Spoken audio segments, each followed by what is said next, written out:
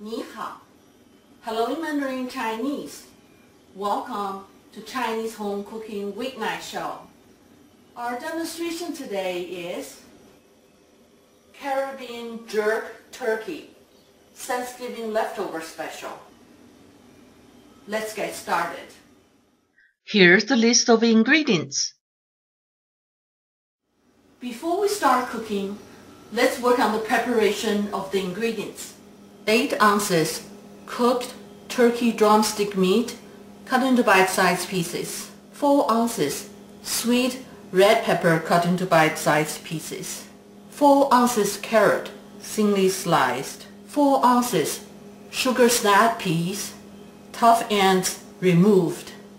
4 ounces onion cut into bite-sized pieces. 4 cloves of garlic minced.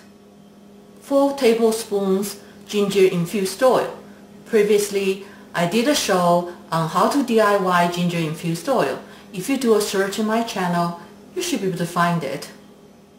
6 tablespoons Caribbean jerk sauce.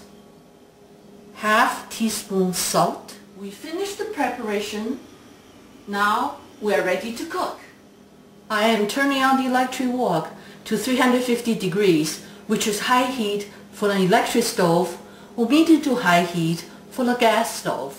I am adding 4 tablespoons ginger infused oil to let it heat for 1 minute until the oil is hot. It's been a minute. The oil is hot. We're going to cook the carrot, onion, and garlic for 2 minutes until the carrot is slightly soft.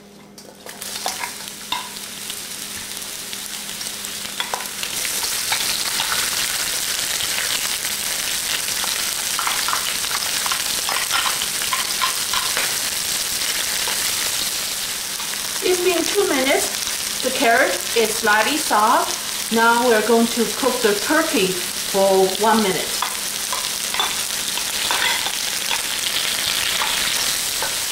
It's been a minute since we added turkey. Now we're going to add the salt, Caribbean jerk sauce, sugar snap peas,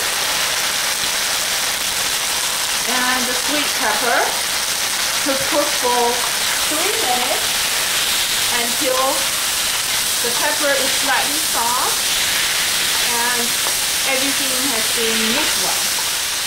It's been three minutes. The pepper is slightly soft. Everything has been mixed well. It is done. Enjoy. Let's have a quick review of what we done. I hope you enjoyed this dish, which is fast, affordable, and tasty. Happy home cooking. I look forward to seeing you again very soon.